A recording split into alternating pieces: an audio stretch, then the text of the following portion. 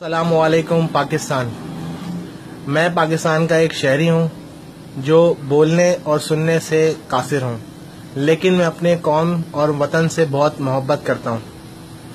اور آج میں اپنے وطن کے لیے ایک ملی نغمہ پیش کرنا چاہوں گا۔ لب پہ آتی ہے دعا بن کے تمنا میری۔ زندگی شمع کی صورت ہو خدایا میری۔ ہو میرا کام غریب نایت کرنا۔ درد سے محبت کرنا۔